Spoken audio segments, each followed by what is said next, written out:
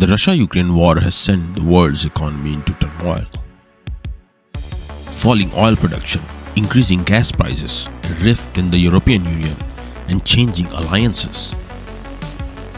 During this time, the world has keenly witnessed shifting trends across economic, geopolitical, and cultural lines.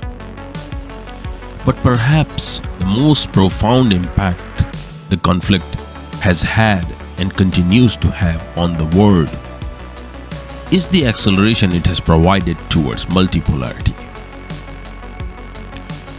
Which is, global power is more evenly distributed amongst several advanced economic nations rather than contained within a single hegemonic power, which in this case is the United States. Underpinning much of this acceleration, moreover, is the trend of de-dollarization. The US government reaps an unfathomable amount of power from its racket of printing fake money out of thin air and forcing it on the world. The petrodollar system is a big reason it has gotten away with this scam for so long. Any change to this system by default will generate significant effects, not just in prices, but also at the geopolitical and economic levels. Nevertheless, some dismiss these effects as a mere trifle, while others claim them to be cataclysmic.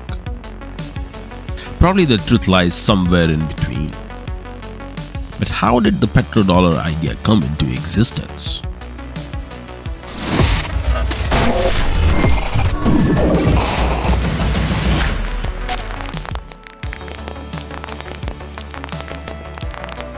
To really understand the petrodollar, we'll have to understand what events actually took place giving birth to petrodollar okay? And to do that we will have to really go back in time to 1928 when king abdul aziz al saud ibn saud in short he was the founder of saudi arabia and he developed close ties with the united states. And after unifying his country in 1928 he set about gaining international recognition and Britain was the first country to recognize Saudi Arabia as an independent state. And that's, that was because British had provided protection to Saudi Arabia from Turkey for many years. And in May 1931, the US officially recognized Saudi Arabia by extending full diplomatic support and recognition. Now, at the same time, Ibn Saud granted a concession to the US company, which was called Standard Oil of California, allowing them to explore for oil in the country's eastern province, Al Hassan. And then in 1931, a treaty was signed by both nations which included favored nation status, which means that in 1931, Saudis were given favored nation status by the United States. And then relationship was see, still weak because American interests were not aligning in 1931 in Saudi Arabia. Middle East was not the Americans, it, it wasn't the center of America's foreign policy at that time. So Saudi affairs were really handled by US delegation in Cairo, Egypt. The US finally sent a resident ambassador in 1943. I was one of the lucky fellows to have a chance to shake hands with His Majesty the King. I was very impressed by his size. He was a, a giant of a man. And when His Majesty evolved, he thanked God for blessing us with this wealth. The relationship between Saudi Arabia and the United States of America was economically strengthened in 1933 when Standard Oil of California was given the concession to explore Saudi Arabian lands for oil. The subsidiary of this company, regarded as California Arabian Standard Oil Company, carried out a fruitful exploration in 1938, finding oil for the first time. The relation between the two nations strengthened throughout the next decade, establishing a full diplomatic relationship through a symbolic acceptance of an American envoy in Saudi Arabia. As the US-Saudi relationship was growing slowly, World War II was beginning its first phase, with Saudi Arabia remaining neutral. The US was deeply involved in the World War II and as a result, US-Saudi relationships were put on the back burner.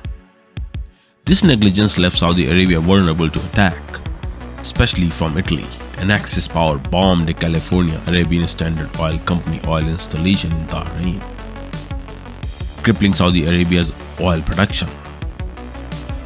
This attack left bin Saud scrambling for to find an external power that would protect the country, fearing further attacks that would most likely seize the country's oil production and the flow of pilgrims coming into Mecca to perform Hajj, the base of Saudi power and the economy at that time. California Arabian Standard Oil Company struck oil near Bahrain, but production over the next several years remained low. Only about 42.5 million barrels between 1941 and 1945 less than 1% of the output in the United States over the same time period. California Arabian Standard Oil Company was later renamed the Arabian American Oil Company, aka Aramco.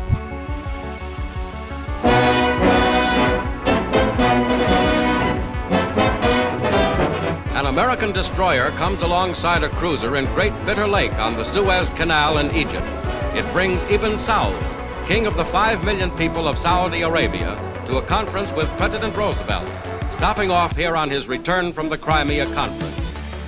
However, as World War II progressed, the United States began to believe that Saudi oil was of strategic importance. As a result, in the interest of national security, the US began to push for greater control over the Aramco concession. On February 16, 1943, President Franklin Roosevelt declared that the defense of Saudi Arabia is vital to the defense of the United States, thereby making possible the extension of the Lend-Lease program to the kingdom. Later that year, President approved the creation of the State-owned Petroleum Reserves Corporation with the intent that it purchase all the stock of Aramco and thus gain control of Saudi oil reserves in the region. However, the plan was met with opposition and ultimately failed. See, Roosevelt continued to court the government. However, on February 14, 1945, he met with King Ibn Saud aboard USS Quincy, discussing the topics such as country security relationship and the creation of a Jewish country, aka Israel, in the mandate of Palestine. Ibn Saud approved the US's request to allow the US Air Force to fly over and construct airfields in Saudi Arabia.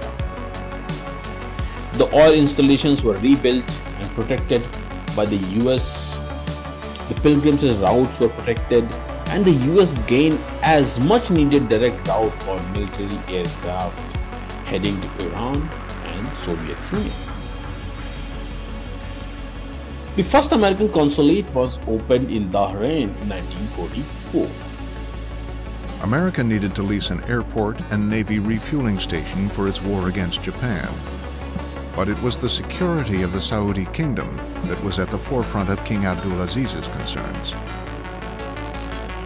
He requested U.S. military assistance and training, and they agreed to construct the Dhahran military base. In return, the king guaranteed that the U.S. would always have secure access to Saudi oil. In 1945, after the World War II, Saudi citizens began to feel uncomfortable with the US forces still operating in Dhahran. In contrast, the Saudi government and the officials saw US forces as a major component of the Saudi military defense strategy. As a result, Ibn Saud balanced the two conflicts by increasing the demands on US forces in Dhahran when the region was highly threatened and lowering it when the danger declined. At this time, due to the start of the Cold War, the US was greatly concerned about the Soviet communism and devised a strategy of containing the the spread of communism within the Arabian Peninsula, putting Saudi security at the top of Washington's list of priorities. Harry S. Truman's administration also promised bin Saud that he would protect Saudi Arabia from Soviet influence. Therefore, the US increased its presence in the region to protect its interests and its allies. The security relationship between Saudi Arabia and the US was therefore greatly strengthened at the start of the Cold War.